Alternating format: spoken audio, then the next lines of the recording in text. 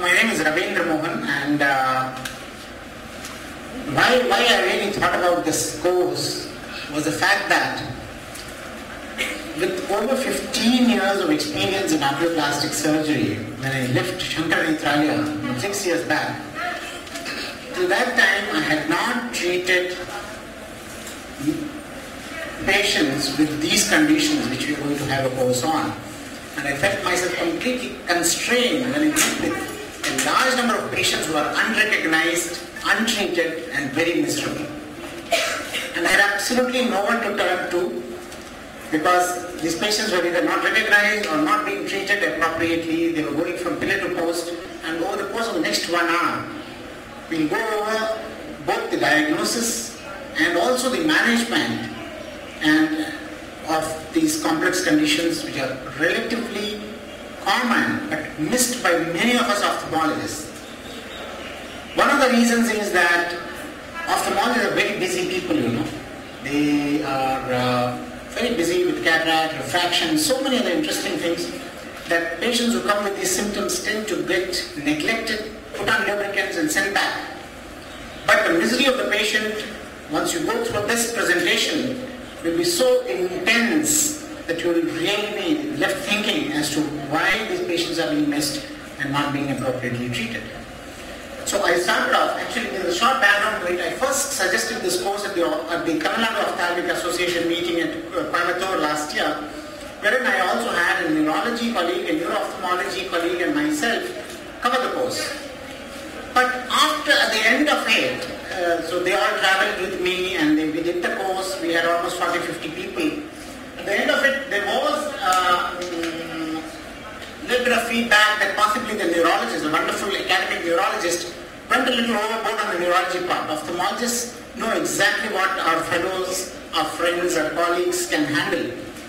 So that set me thinking, and uh, I said, let me do the course as a, a one-person masterclass with all its limitations, and uh, having somebody travel all the way and then, you know, uh, so that, that was the reason why. So I think I'm, I'm, I'm trying to you know, put together all the aspects. So there's an immense need for the course. Patients are missed left, right, center.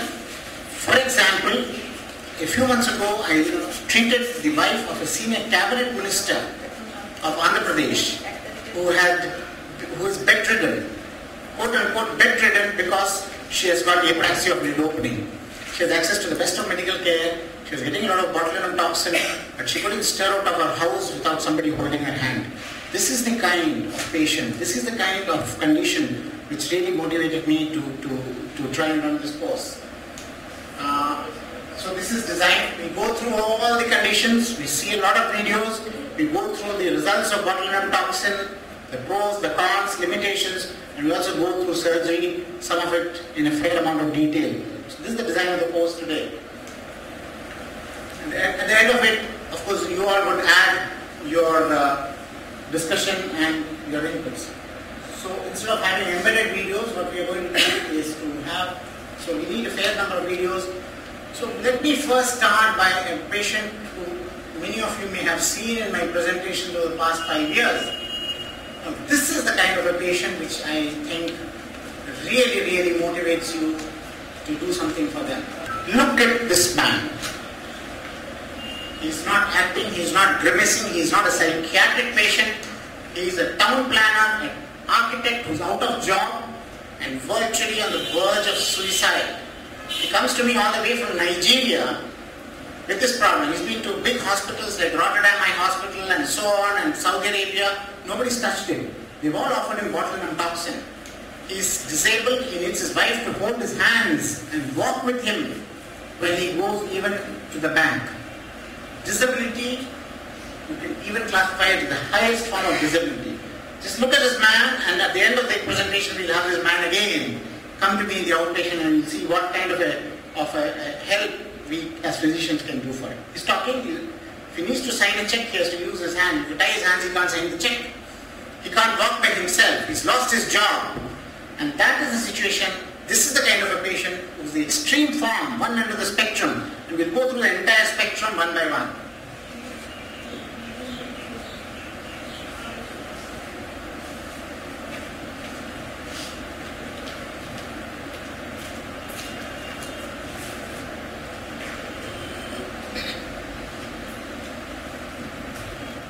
Now let's go over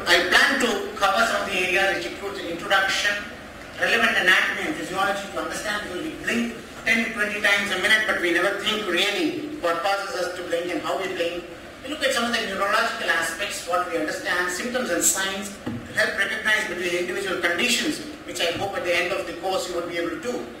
Also differential diagnosis. There are related conditions which can cause confusion and we should not be over enthusiastic in going and diagnosing them. Look at investigations, routine measures which can help these patients, medical treatment, botulinum toxin is magic, which works in a large number of these patients, surgical management which is still done. For example, the father of surgery for these conditions, uh, Rick Anderson, has done almost 2,000 surgeries and he says in 2013 he continues to do as many operations for this condition as he used to do 30 years ago when he first started the operation. In other words, despite botulinum toxin, there is a subset of patients who need surgery and specialized surgery to get them back to track. Then we look at psychological support, sites which provide some information. Now we all are familiar with the facial anatomy and we look at the muscles around the eye where we're going to be concentrating on. Spasm of the lower face is again complex area which we're not going to cover in too much detail.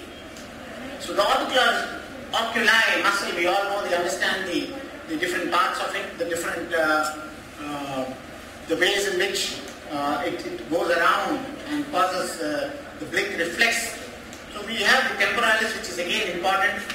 We have other muscles like the corrugator supercilii, procerus, and uh, which are all important the point of view of conditions like blepharospasm and also conditions like uh, spasm. So these muscles, we will look in a little more detail and we'll see that during the surgery how I am putting those off.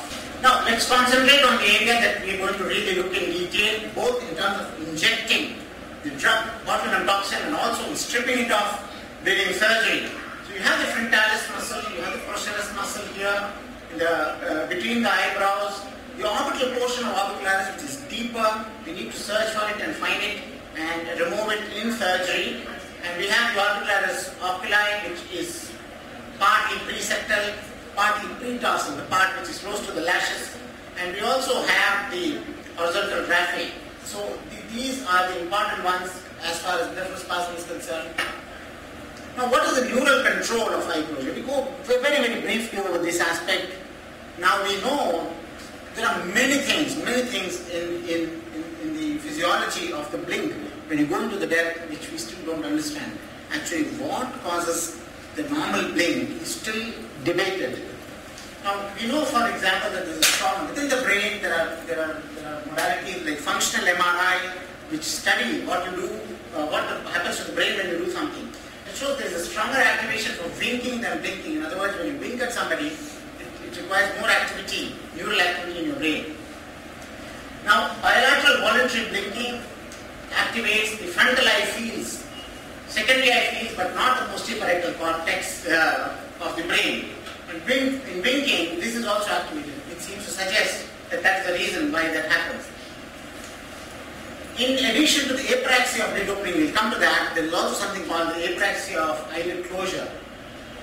We'll come to that in a short while. Some of it may be Greek to some of the uh, people attending the course five, six years ago, it was the same for me as well. Now, as far as eye closure is concerned, it's a coordinated inhibition of the levator. So you need to have two things. The levator inhibits, because the levator is the one which pulls up the lid.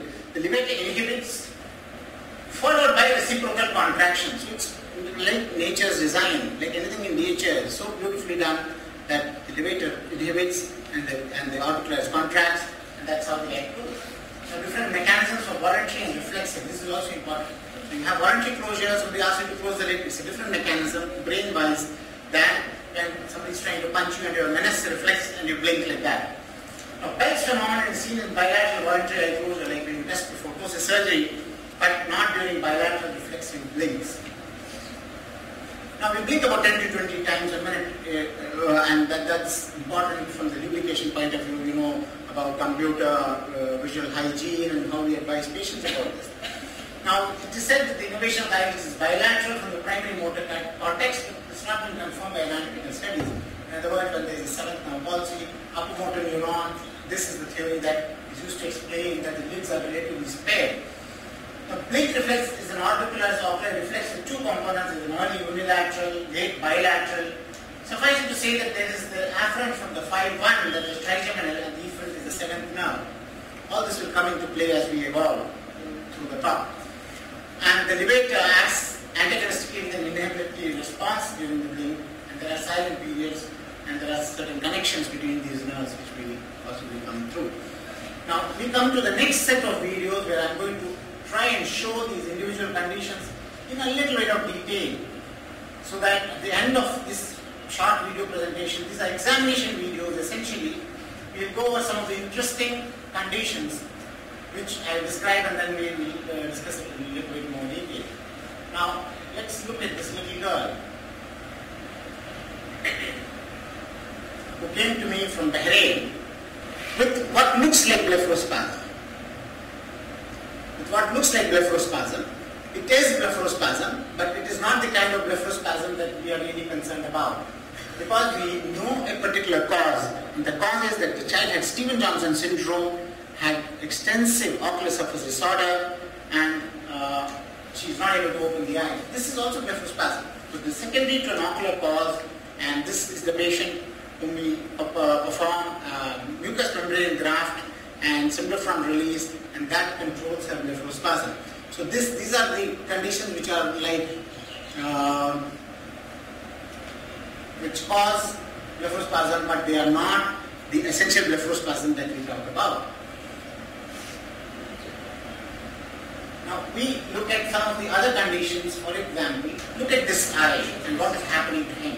So if you look only at the eye, then you could say, sorry, this could be a condition called orbicularis myokymia, which is very limited fasciculations of the orbicularis. But if you look at the lower face, he's starting to have some symptoms, some signs of hemifacial spasm as well. Also, in such an early patient, we cannot be very sure it is not benign essential blepharospasm.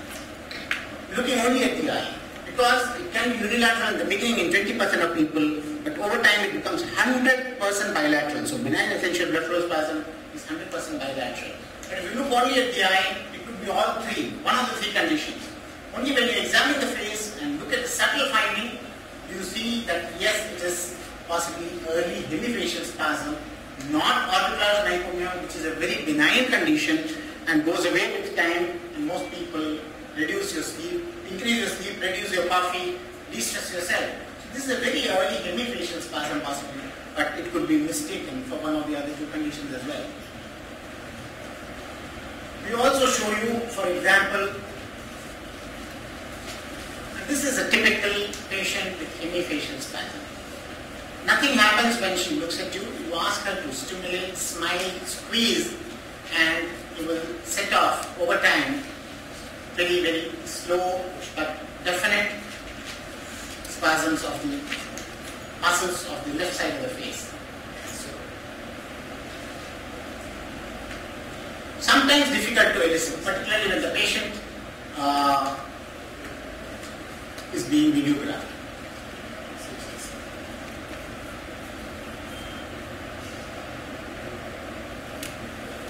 This was a patient with patients spasm. If you look at some other patients, for example, where we find uh, like this lady, for example. Again, she is waiting for botulinum toxin injection. We are recording her and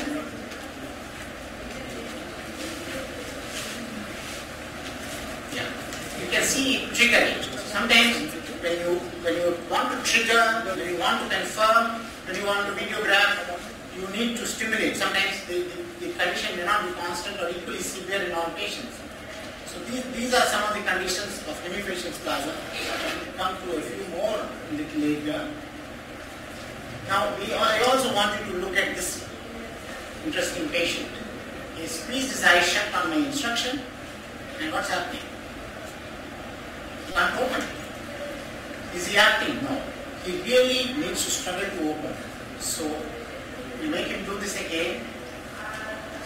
This is what happens in a patient with apraxia of lid opening. We'll see more such patients as we go by, and those who underwent surgery, the more severe ones, may not be constant, That's why many of these patients are thought to have psychiatric disorders. Many of them are prescribed sedatives. They don't know. You, you actually, why don't you go for a vacation? Why don't you take rest? May help a little bit, but there is a pathology. Patient with of big opening, very disabled, stop